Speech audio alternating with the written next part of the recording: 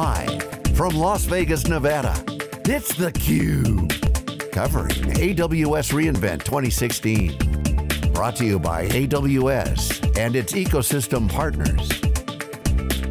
Now, here's your host, John Furrier.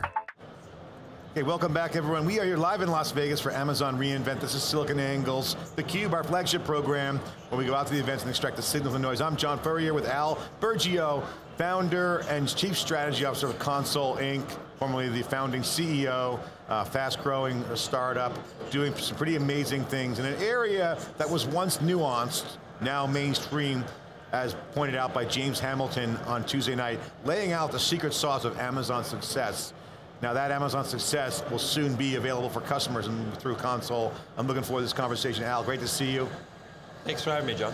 Um, so first of all, you guys had great success, um, had um, good funding. What's the funding traction now? What was the last round of funding you did?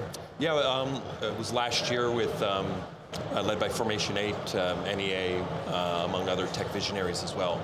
We're very fortunate to uh, have their support and and uh, allow us to continue to uh, accelerate our, our uh, execution and growth strategy. We won't relieve the number, but big numbers. My question to you is, um, watching James Hamilton Tuesday night laid out Amazon's secret sauce, from silicon, uh, making their own silicon, to really owning the route of the packet. He said something on his uh, presentation Tuesday night. The key to success for Amazon, internal to their internal cloud operation, is to not let the packets touch, let anyone touch the packets, meaning that means they can control the packet end to end. Your business model is to do that for customers. Exactly. This validates your entire thesis as a founder, so that must make you feel good. so what does that mean? I mean, and, and how do you go, and what do you guys do specifically to provide that kind of benefit to customers? So, um, it, it, exactly how you know um, uh, Hamilton had articulated is exactly how we you know we feel all enterprises should be thinking. Happy um, birthday, Mr. Furrier. Happy birthday, John.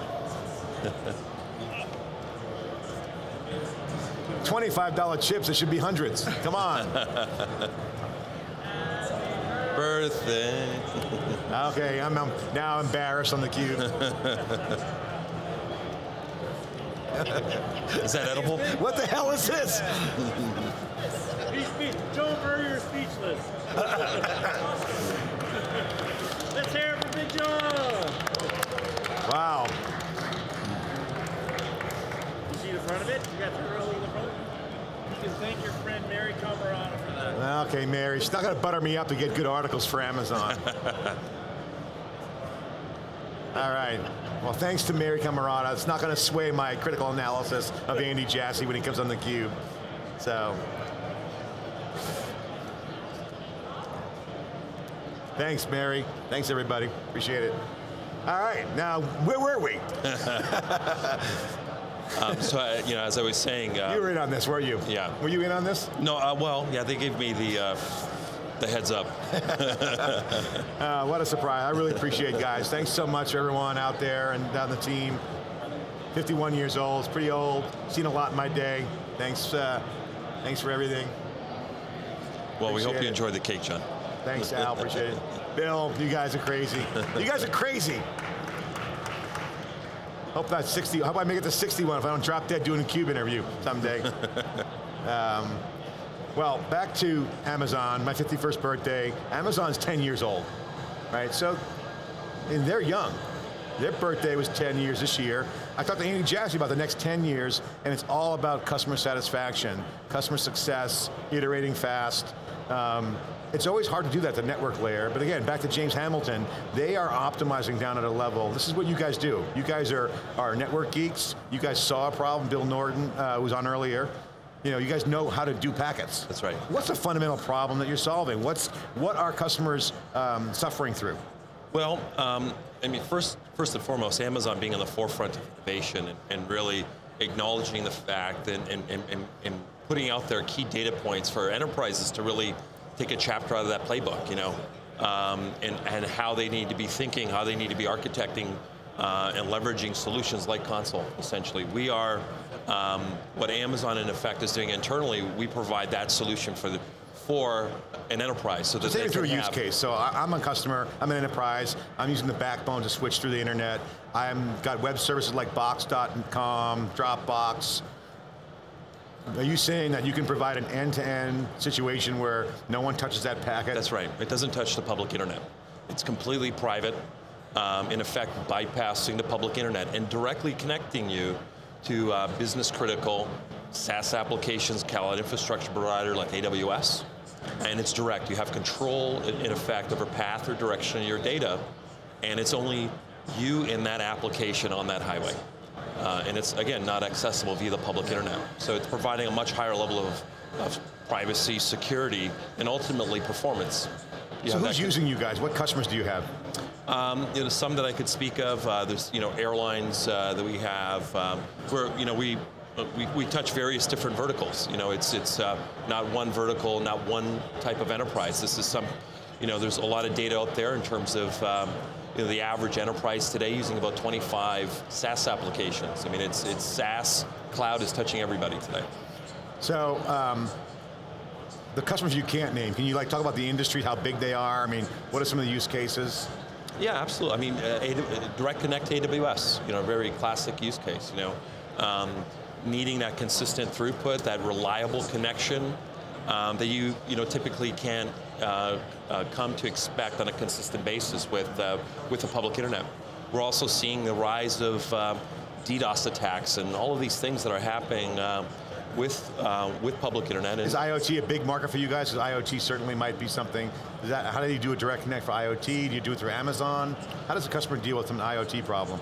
Well, um, in, in, you know, to the extent that an enterprise um, wants to avoid certain I, IoT type issues, you know, um, again, you know, uh, Console provides a solution for end-to-end private connectivity. Um, and, and, you know, security obviously top of mind for uh, many CIOs, and um, you know, with what we provide, um, it, it provides the ability to connect to this global ecosystem of their business critical partners. Uh, and the best part is that we've made it, you know, with a few clicks of a button. So uh, what's the strategy? The chief strategy officer now, which is great, by the way. Love when founders stay in the in the in the uh, helm for the company. Might not do the day-to-day CEOing, but the most part, it's uh, turbulent waters for most people. Cloud is shifting. Now you have an advantage. The world is going where you are, so that's cool. But what's next? What is it? A product innovation? Is it customer growth? What's the plan? Well, first and foremost, it's, it's about ecosystem.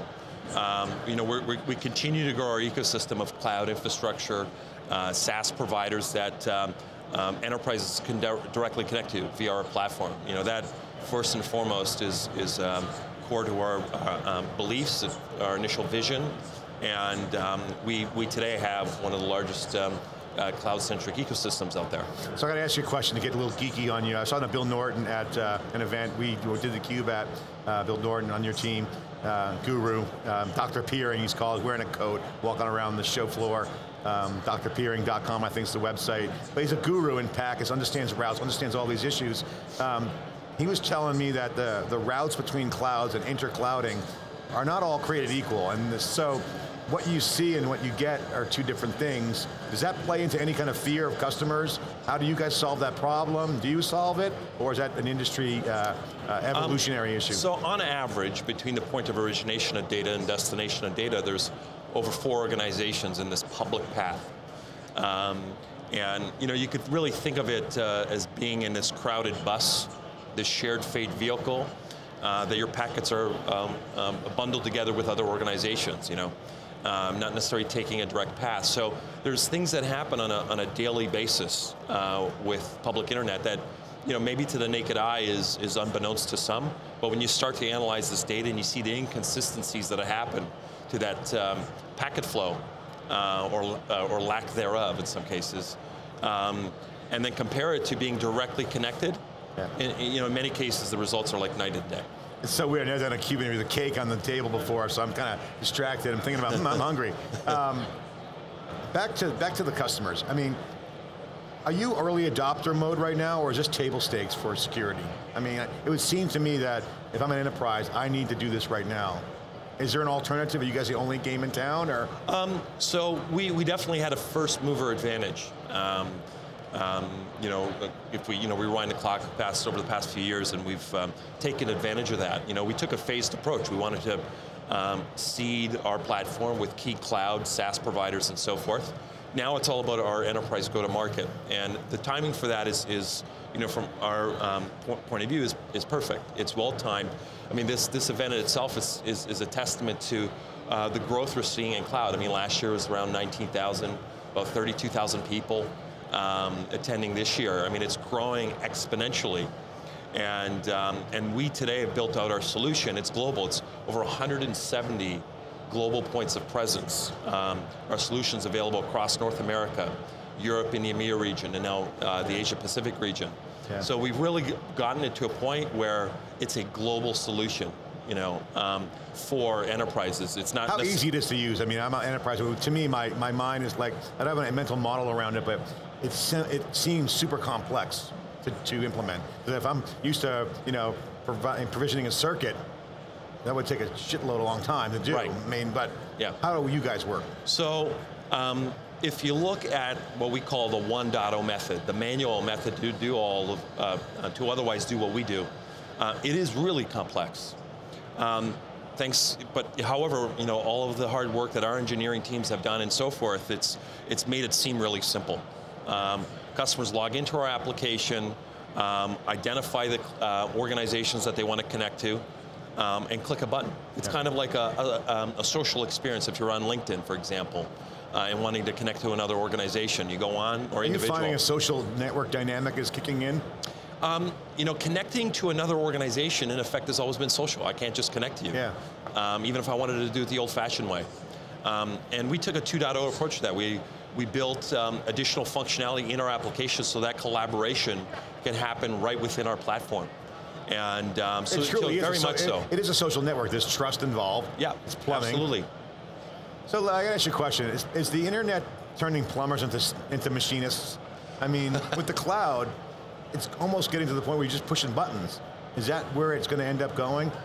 Less plumbers, more machinists? Well, we... Use the analogy? You know, in terms of um, um, our focus as an organization, it, it is about making it as simple as possible for the enterprise, our enterprise customers. And you know, we'll continue to invest in innovation, uh, to bring forth new products, new features, um, so that uh, they could spend time doing other things that are important to their business and not have to deal with uh, the racking and stacking of network gear in a, uh, in a, at a global scale. You know, uh, um, our platform takes care of all of that.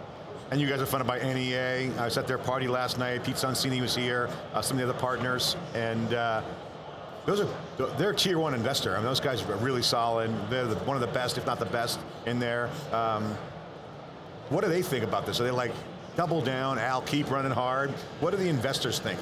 Um, we're very fortunate to have NEA as an investor. They were, um, um, you know, they they were there from our A round. You know, really saw and embraced the vision very early on uh, and have been incredibly supportive. Yeah. Um, and you know, and with that, having that validation uh, for us at such an early stage, it's it's really helped us get to where we are today. Yeah, and then uh, just to put a plug out for NEA, they're one of the best VCs. They stick by their entrepreneurs, and most recently had a loss. One of their partners died suddenly. Harry Weller. Want to wish uh, everyone at NEA and especially with NEA um, our condolences on the cube. Uh, tragic uh, death of a great partner, great entrepreneur friend. Um, so that's been, been kind of a bummer uh, there. But great firm. If you're an entrepreneur, NEA, they, they stick with their founders uh, and make things happen. So uh, you got a great investor. Okay, what's next? Amazon is kicking ass and taking names. okay, your thoughts on the show? Observations besides the fact that it's 32,000 people, center of the universe. What's your take of Amazon's world, place in the world order right now? You know, it's um, it's it's hard to uh, imagine a scenario where someone else could catch up. They are innovating. Um, the, the, product portfolio that they have here, it, it's just phenomenal. Um, and I'm, I'm, sure we'll continue to see more of the same come out of Amazon. Well, we're psyched to be four years with uh, Amazon. We were following them before they were huge. now they're big, and now so everyone's on the bandwagon, but legit reasons. The services to lower the cost, and architecturally, James Hamilton is really onto something. And again, I congratulations to you guys at Console because he is validating at that scale what you guys have been doing. And I know as an entrepreneur, you probably had your moments where some people just don't get the vision. Yeah. now it's out there. Yeah, you you know, early days you're concerned, is, are you too early? Um, but, uh, you know, we're very fortunate as an organization to be yeah. well-timed. Well, you guys got a great team. Congratulations. Al Burgio, great entrepreneur. Great venture. Turns out that he went to where the puck is coming. He's right there. Hopefully you can skate with the puck with the Amazons of the world. Congratulations. Thank you, John. Console Inc. Check it out. I'm John Furrier with theCUBE. Celebrate my 51st birthday in the cake. Thanks to the team. Guys, I'm uh, speechless. Never speechless, but I'm humble. Thank you very much. Thank you, Mary. That's a wrap.